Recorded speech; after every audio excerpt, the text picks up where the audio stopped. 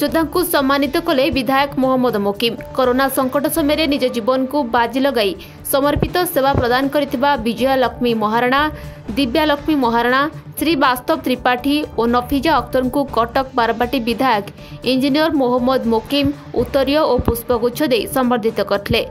ବିଜୟ ଲକ୍ଷ୍ମୀ ଓ ଦିବ୍ୟ ଲକ୍ଷ୍ମୀ କଟକ ସହରରେ କରୋନା ସମୟରେ ନିଜ ଅଞ୍ଚଳ ଗରିବ ଅସହାୟ ଲୋକଙ୍କୁ ରନ୍ଧା ଖାଦ୍ୟ ଯୋଗାଇ ଆସୁଛନ୍ତି। ଶ୍ରୀବାସ୍ତବ ତ୍ରିପାଠୀ ଲକଡାଉନ ସମୟରେ ଗୃହପାଳିତ ପଶୁମାନଙ୍କର ରକ୍ଷଣାବେକ୍ଷଣ କରିବା ସହିତ ଲୋକଙ୍କୁ କରୋନା ପ୍ରତିଷେଧକ ଭାବେ ହୋମିଓପାଥିକ ଔଷଧ ମାଗଣାରେ ବିତରଣ କରିଆସୁଛନ୍ତି ନାଫିଜା ଅକ୍ତର ଏହି ମହାମାରୀ ସମୟରେ ଦୁଃଖୀ ଅସହାୟ ଲୋକଙ୍କୁ ସାହାଯ୍ୟ କରି ନିଜର ସ୍ୱତନ୍ତ୍ର ପରିଚୟ ସୃଷ୍ଟି କରିଛନ୍ତି। ମହାମାରୀ ସମୟରେ ସାଧାରଣ ଲୋକଙ୍କ ସେବାରେ ନିଜକୁ ନିୟୋଜିତ କରିଥିବା ଏହି ଚାରିଜଣ ଉଜ୍ଜଳ ଭବିଷ୍ୟତ କାମନା କରିଥିଲେ ବିଧାୟକ ମହମ୍ମଦ ମୋକିମ।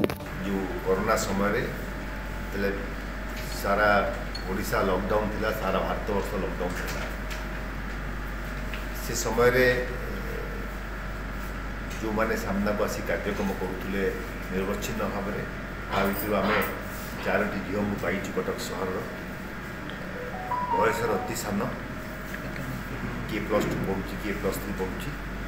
କିନ୍ତୁ ସେବା ମନୋବୃତ୍ତି ଏତେ ବଡ଼ ତାଙ୍କର ଯେ ସେ ସମୟଠୁ ଆଜି ପର୍ଯ୍ୟନ୍ତ ଆମେ ଦେଖି ଆସୁଛୁ ଯେ ବିଭିନ୍ନ ସମୟରେ ଲୋକଙ୍କ ପାଖରେ ଖାଦ୍ୟ ପହଞ୍ଚାଇବା ରନ୍ଧା ଖାଦ୍ୟ ପହଞ୍ଚାଇବା କେଉଁଠି କରୋନାକୁ କାଟୁ କରିବା ପାଇଁ ଔଷଧ ପହଞ୍ଚାଇବା କେଉଁଠି ପକ୍ଷୀ ପଶୁଙ୍କ ଖାଇବା ପାଉନାହାନ୍ତି ତାଙ୍କ ଖାଇବା ପହଞ୍ଚାଇବା ଏସବୁ ସେବା ମନୋବୃତ୍ତି ନେଇ ଲୋକଙ୍କ ପାଖରେ ରହିଛନ୍ତି ଏବଂ ଲୋକଙ୍କ ପାଖରେ ପହଞ୍ଚୁଛନ୍ତି ଏଇଠି ଆମେ ପହଞ୍ଚି ପାରିଛୁ ଆକ୍ଚୁଆଲି ଆମେ ଆଗରୁ ବି ବହୁତ କରିଥିଲୁ ଥଣ୍ଡା ଟାଇମ୍ରେ ଆଉ ଗୁଡ୍ ଟାଇମ୍ରେ ବି ଆମେ ଏମିତି ଲୋକଙ୍କୁ ଖାଇବା ଦେଉଥିଲୁ ଗରିବ ଲୋକମାନଙ୍କୁ ଆଉ ଏମିତି କରୋନାରେ ବି ଦେଇଥିଲୁ।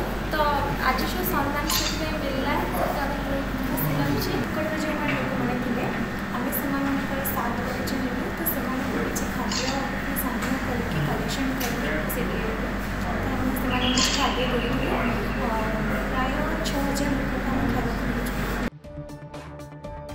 ଆଜି ହେଉଛି ଶେଷ ରଜ। କରୋନା ସଙ୍କଟରେ ରଜ ମୌଜ ଫିକା ପଡ଼ିଥିଲେ ମଧ୍ୟ ଓଡ଼ିଶାବାସୀ କିନ୍ତୁ ସାମାଜିକ ଦୂରତା ସହ ରଜ ପର୍ବ ପାଳନ କରିଛନ୍ତି। ଅଳ୍ପ କିଛି ସ୍ଥାନରେ ଘରୋଇ ଭାବେ ଦୋଳି ଖେଳ ହୋଇଥିବା ବେଳେ ରଜ ପାନର ଚାହିଦା ଥିଲା ଅଧିକ। କାଁ ଭାଁ କିଛି ସ୍ଥାନରେ ଏହି ରଜପାନ ବିକ୍ରି ହେଉଥିବା ବେଳେ ଘରମାନଙ୍କରେ ବିଭିନ୍ନ ପ୍ରକାର ପିଠା ସାଙ୍ଗକୁ ପହିଲି ରଜରେ ଆମିଷର ସ୍ୱାଦ ଦେଖିଥିଲେ ଓଡ଼ିଆ ଲୋକେ।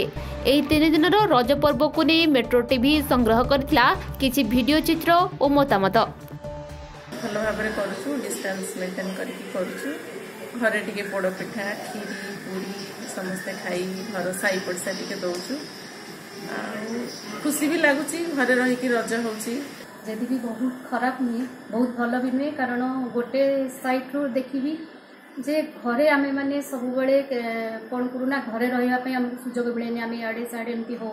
କିନ୍ତୁ ହଜବେଣ୍ଡ ମାନେ ବି ତାଙ୍କ ପାଖରେ ବି ଆମେ ରହିପାରୁନୁ ଯେହେତୁ ସେମାନେ ଆର୍ଟିଷ୍ଟ ସେମାନେ ବି କୁଆଡ଼େ କୁଆଡ଼େ ରଜରେ ତାଙ୍କର ପ୍ରୋଗ୍ରାମ୍ ପଡ଼େ ସେ ପଳାନ୍ତି। କିନ୍ତୁ ଗୋଟେ ଦୃଷ୍ଟିରୁ ଭଲ ହେଲା ଯେ ସେ ଆମେ ସମସ୍ତେ ଗୋଟେ ଘର ଭିତରେ ଚାରି କାନ୍ଥ ଭିତରେ ନିଜ ନିଜ ଭିତରେ ଗୋଟେ ଖୁସିର ଆଦାନ ଆଦାନ ପ୍ରଦାନ କରୁଛୁ। ରଜ ଯେମିତି ପାଳିବା କଥା ସେମିତି ପାଳୁଛୁ। କିନ୍ତୁ ଏଥର ଯେହେତୁ ଲକଡାଉନ୍ ଆଉ ସଟଡାଉନ୍ ହେଇଛି ସେଥିପାଇଁ ଆମେ ଶୁକ୍ରବାରରୁ ନେଇ ଆସିଥିଲୁ ସବୁ କିଣାକିଣି କରିକିରି। ଆଉ ପିଠା ଉଁ, ଦହିବରା ଆଳୁଦମ୍ ଆଉ ପୋଡ଼ ପିଠା ଏସବୁ ବନେଇକିରି ଘରେ ପିଲାମାନେ ଏଥର ଲକଡାଉନଟା ବହୁତ ଭଲ ଲାଗୁଛି କାହିଁକି ଏଥିପାଇଁ ନା ଆ, ମୋ ହଜବେଣ୍ଡ କେବେ ରୁହନ୍ତିନି ଘରେ। ମୋ ପିଲାମାନେ ଘରେ ରୁହନ୍ତିନି। ତେଣୁ କରିକି ଏଥର ସମସ୍ତେ ଘରେ ଅଛନ୍ତି। ସେଥିପାଇଁ ମତେ ତ ବହୁତ ଭଲ ଲାଗୁଛି। ଆଉ ବାକି ରହିଲା ପିଲାମାନେ ବାହାରେ ବୁଲନ୍ତି ରଜରେ। ସେଇଟା ପାଇଁ ସେମାନେ ଯାଇପାରୁନାହାନ୍ତି। ତଥାପି ସେମାନେ ଖୁସି ଅଛନ୍ତି ଯେହେତୁ ଘରେ। ଫ୍ୟାମିଲିରେ ଆମେ ସମସ୍ତେ ମିଶିକି ମନାଉଛୁ।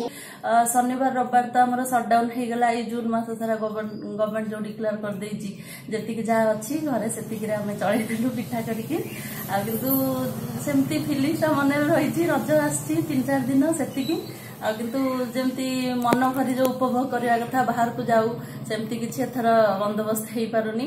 ଏଥରକ ରଜରେ କରୋନା ହେଇଥିବା ଯୋଗୁରୁ ଆମେ ଘରେ ରହି ପାଳନ କରୁଛୁ।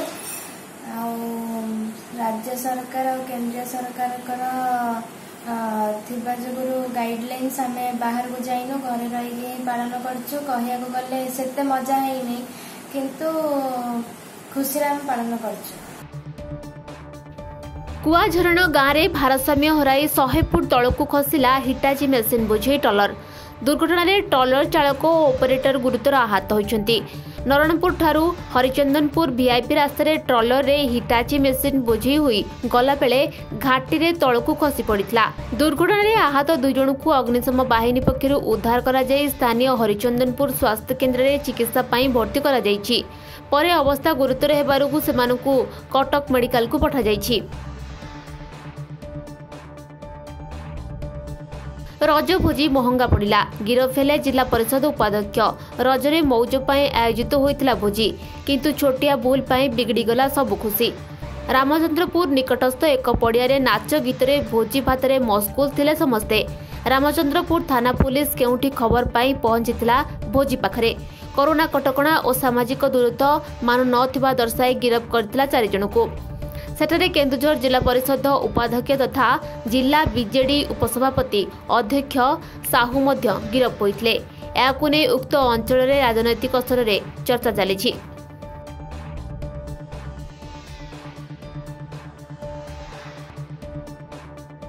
ବରଗଡ଼ ଜିଲ୍ଲାରେ ଚଉତିରିଶ ଜଣ କରୋନା ରୋଗୀ ଚିହ୍ନଟ ହୋଇଛନ୍ତି। ସେମାନଙ୍କ ମଧ୍ୟରେ ଜଣେ ଗର୍ଭବତୀ ମହିଳା କରୋନାରେ ଆକ୍ରାନ୍ତ ହେବା ପରେ ଝାଡ଼ାବନ୍ଧ ସରପଞ୍ଚ ଚିନ୍ତା ବଢ଼ିଲା।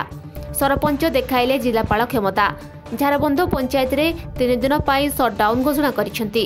ବନ୍ଦ ହୋଇଛି ସମସ୍ତ ଦୋକାନ ବଜାର ସରକାରୀ ଓ ବେସରକାରୀ ଅନୁଷ୍ଠାନ।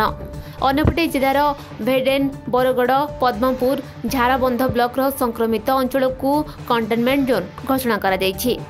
ଆଶା ଅଙ୍ଗନବାଡି କର୍ମୀ ସ୍ୱାସ୍ଥ୍ୟକର୍ମୀ ଘରକୁ ଘର ବୁଲି ସଚେତନ କରୁଥିବା ବେଳେ ଅଗ୍ନିଶମ ବିଭାଗ ଦ୍ୱାରା ସାନିଟାଇଜ୍ କରାଯାଇଛି।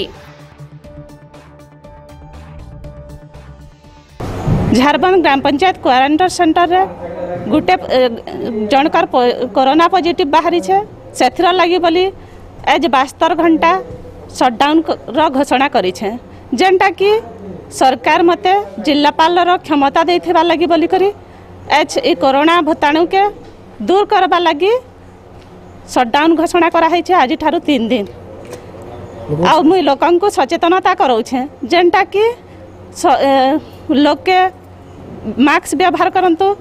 ଆଉ ହାତ ହାତର ସାବୁନ ସାବୁନ ଧୋଇକରି ସଫା କରିବା ଲାଗି ତାହାକୁ ଆଉ ଗୋଟିଏ ମିଟର ଦୂରତା ରହିବା ଲାଗି ମୁଇଁ ତାହାକୁ ସଚେତନତା କରୁଛେ। ଯୁକ୍ତିତର୍କକୁ କେନ୍ଦ୍ର କରି ଯୁବକଙ୍କୁ ପିଟିପିଟି ହତ୍ୟା। ଢେଙ୍କାନାଳ ଜିଲ୍ଲା ସଦର ଥାନା ଅନ୍ତର୍ଗତ ତରଭା ଗ୍ରାମର ଜଣେ ଯୁବକକୁ ସେହି ଗ୍ରାମ ନିକଟସ୍ଥ ରାୟପୁର ଛକ ନିକଟରେ ରବିବାର ସନ୍ଧ୍ୟା ସମୟରେ ପିଟିପିଟି ସଂଘବଦ୍ଧ ଆକ୍ରମଣ କରି ଗୁରୁତର ଆହତ କରିଥିଲେ। ସେହି ଆହତ ଯୁବକଙ୍କୁ ପ୍ରଥମେ ଢେଙ୍କାନାଳ ମୁଖ୍ୟ ଚିକିତ୍ସାଳୟରେ ଭର୍ତ୍ତି କରାଯାଇଥିଲା। ସ୍ୱାସ୍ଥ୍ୟାବସ୍ଥା ଅଧିକ ଗୁରୁତର ହେବାରୁ ତୁରନ୍ତ କଟକ ସ୍ଥାନାନ୍ତର କରାଯାଇଥିଲା। ତେବେ ବିଳମ୍ବିତ ରାତିରେ ଚିକିତ୍ସାଳୟରେ ତାଙ୍କର ମୃତ୍ୟୁ ଘଟିଥିବା ସୂଚନା ମିଳିଛି ଘଟଣାକୁ ନେଇ ତରଭା ଗ୍ରାମରେ ଅଶାନ୍ତ ପରିସ୍ଥିତି ଲାଗି ରହିଛି ମୃତକ ଯୁବକ ନାମ ଚିକୁନ ବିଶ୍ୱାଳ ବୋଲି ଜଣାପଡ଼ିଛି ଗ୍ରାମରେ ପୋଲିସ ପହଞ୍ଚି ତନାଘନା ଜାରି ରଖିଛି ଜଙ୍ଗଲରୁ ଯୁବକଙ୍କ ମୃତଦେହ ଉଦ୍ଧାର ପରିବାର ଲୋକେ ଆଣିଲେ ହତ୍ୟା ଅଭିଯୋଗ ବେଲପଡ଼ା ଥାନା ବେହେରାମୁଣ୍ଡା ପଞ୍ଚାୟତର ଦହରମୁଣ୍ଡା ଜଙ୍ଗଲରୁ ଜଣେ ଯୁବକର ମୃତଦେହ ଉଦ୍ଧାର କରିଛି ପୋଲିସ। ମୃତକ ଯୁବକ ଜଣକ ହେଲେ ସୁଶାନ୍ତ ଭୁଏ ସୁଶାନ୍ତଙ୍କୁ ହତ୍ୟା କରାଯାଇ ଫିଙ୍ଗି ଦିଆଯାଇଥିବା ତାଙ୍କ ବାପା ଅଭିଯୋଗ କରିଛନ୍ତି। ପୋଲିସ ଏହି ଘଟଣାର ଅନୁସନ୍ଧାନ ଚଳାଇଛି।